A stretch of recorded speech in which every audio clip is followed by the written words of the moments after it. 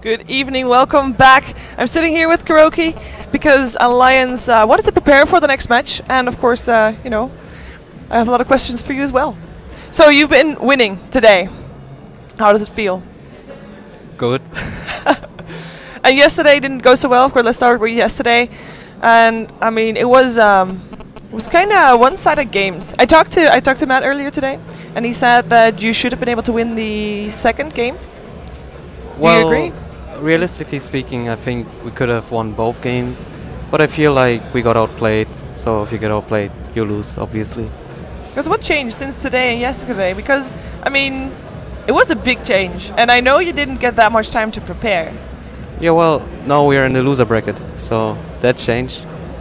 More pressure, or I think you didn't watch much Navi games lately. there has to be honest, there hasn't been that many Navi games. no, but in all honesty, um, I think uh, Sigma is, was very prepared for us, and they're a super strong team. So there's nothing particular that changed. I mean, obviously we thought how we can win Fnatic, but I think Fnatic is not in their best shape right now. I guess they're kind of tired. They've been to Vegas, and before that they've been been traveling, so they have to regain their shape pretty much. And uh, yeah, so sometimes you win, sometimes you lose. When we play Fnatic, it's today we win, tomorrow we lose. So it's not like we had some special ideas or whatever. We just played. Okay, what do you expect for uh, the upcoming match? Like, who are you gonna face tomorrow? Uh, I don't know. I think it's 50-50. Sigma is, like I said, I, I have huge respect for Sigma. You can see them coming into top four in many tournaments lately. And Alliance is Alliance after all. So they're kind of regaining their strength right now, I feel. So I don't know who's going to win. Who do you want to face?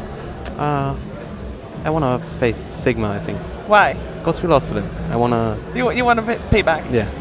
Okay, because uh, I talked to Puppey yesterday, and he said that uh, he thinks the Alliance is the more fun team to play against, the most fun team to play against. Yeah, well, there, there's like the natural rivalry between Alliance and us. So, I mean, we met in the TI finals and we kept meeting in so many finals and many different tournaments. Yeah. So they're like our natural nemesis. So it's always extra motivation playing them. It's extra fun. So there's truth in there. So I hope that you face them in the finals then. Exactly. Yeah. Okay. That's uh, that makes sense. So of course, I mean, you've been uh, with Navi for uh, for a while now, and um, how are things? Like, it's it's it's been over a year. No, it's been uh, ten months. It's been months? since March Yeah. 2013. Well, I, I don't know to give you a real answer to that question. Okay. I mean, we, we all grow with each other Yeah. each day. Obviously, we get along very well, usually, and uh, it's good. There's a lot of highs and lows, I guess. Different. Yeah, obviously, but that, that uh, applies to any team, basically. Yeah. But you've been able to work it out and, and work through it. That's of course important. Yeah. and um, gonna continue on with that as well. I hope at least.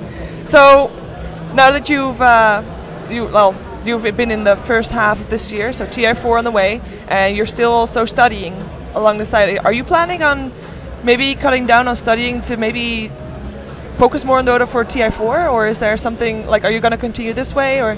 Uh, I'm, I'm gonna continue this way. I think I I have no problem so far, so that's okay for me. I mean, I Dota is so natural for me that I can do something besides it, even though it's time consuming, but it doesn't matter.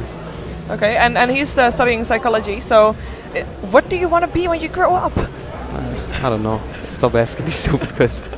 no, but uh, I mean, uh, I really don't know. It's uh, I don't know what's coming tomorrow. Maybe whatever happens, you know, day is mysterious. Things are mysterious. So But is it is it a study that you wanna like, you know, be a psychiatrist, or is that like no? Not necessarily. Well, the reason you study in the first place is to actually learn.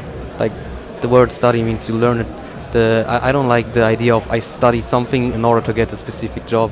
I don't I don't agree with that. I study because I'm interested in that in that material. So I want to study it, learn it, and do something out of it, whatever it is. It just it will come natural at some point, in my opinion. Well, that's uh, that's at least something to look forward to, because I mean, you still have uh, quite a way to go. You're in your first year, Yeah.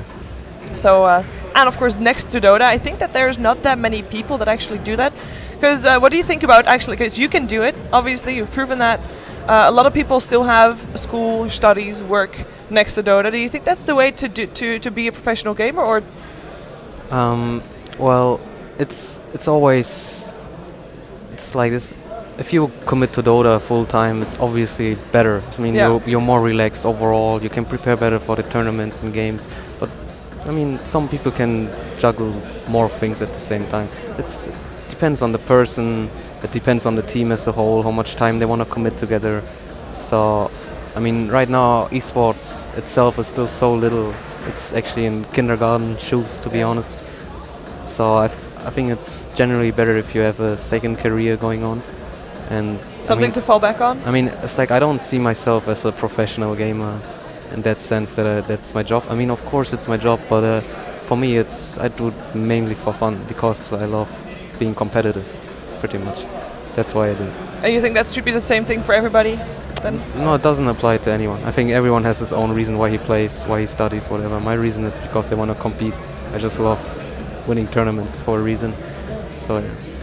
Okay, and do you think it differs per role, like how much time you have to practice? Because I know, for example, Sockshka, he still he goes to school, so he was at school Thursday, so he could only get here in Kiev like three hours I think before I the think game. he works actually. Yeah, works or school. He said school during the conference, but it's it's it, maybe it's a bit I don't of know. both. But he at least is very busy. Like most tournaments, he will come on the day that it starts. Yeah. Do you think that's something that is too much of a sacrifice, or Uh, well, I think I think it, it does cripple Sigma as a team because I think some players want to commit more time into the game, and Sockshka thinks he has to do that.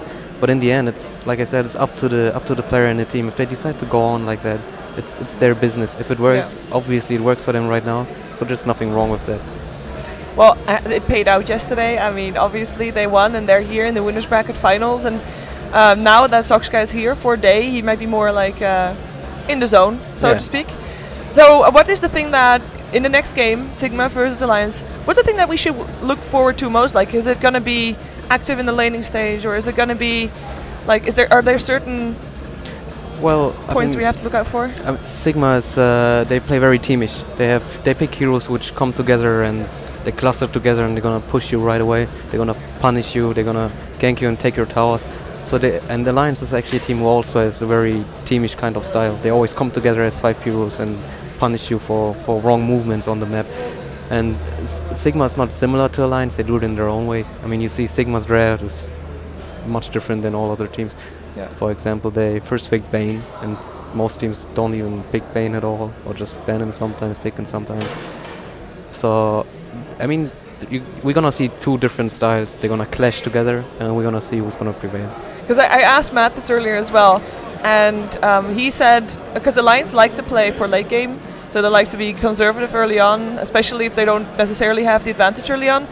And Matt said like we're not going to allow them to do that, so they're indeed going to try to fight on. The, the, are you expecting active games or Uh, passive? Well, ones? the games will be active, but I think you can put it in such simple matter. We won't allow you to do that because teams have been trying to not allow Alliance to do that for the past year, and it didn't work. they won every tournament. yeah. So um, it's gonna be active games for sure because Sigma is aggressive anyway, and uh, Alliance is actually a very aggressive team too. But I mean, aggressiveness it doesn't mean that you go out and kill heroes. It's not aggressive. It's just a way of playing. Aggressive means you constantly do something on the map which puts the other team into pressure. Can be split pushing, can be whatever, stacking creeps, even some kind of aggressive stack creeps, so your carrier has the option to farm it. Get this. I mean, Alliance always gets a certain timing, a timing push. They will always do it, and um, we'll see how the games evolve. Are you expecting long or short games? Like what's what's the average like what's the average duration that you expect for the games tonight for these two? I, I have no answer for that. It depends on the draft. It depends how how they play. If they're if like Sigma does two sloppy mistakes or Alliance does two sloppy mistakes, the game the game's lifespan can be shortened right away. Or if they both play very well and like with two teams play very cautious, a lot of times what we see is that the game drags out like really long. For example, Chinese teams they play very cautious or they play very clean. I like to call it. They don't do the obvious Yeah. mistakes, so the game drags out because it's like about the more time passes, the more likely it's that some mistakes happen. So it depends on their shape pretty much today. Okay, fair enough. And, and do you think it's going to be the games are going to be decided by the draft, or does the draft like doesn't matter th- as much Well, as, as the game? Well, the, the draft is a huge part of Yeah, the game, obviously. obviously. So it's, I think it's always 50-50%. I mean, it's 50% draft and 50% execution.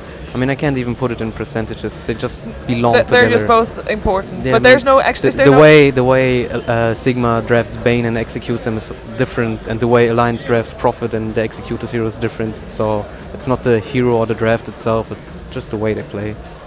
Okay, well, we're of course going to see it. Uh, you still have to have uh, a bit of food before the game. Is there anything else that you're going to do to prepare for tomorrow's game? I'm gonna take some rest. It's, Sleep somewhere. mm, It's going to be good. Uh, do you uh, prepare? Like, do you do any practice still before then? Um, maybe go to a place with all five of you just to discuss the game, or is it just you're going to show up that and was play? a good joke. Thank you.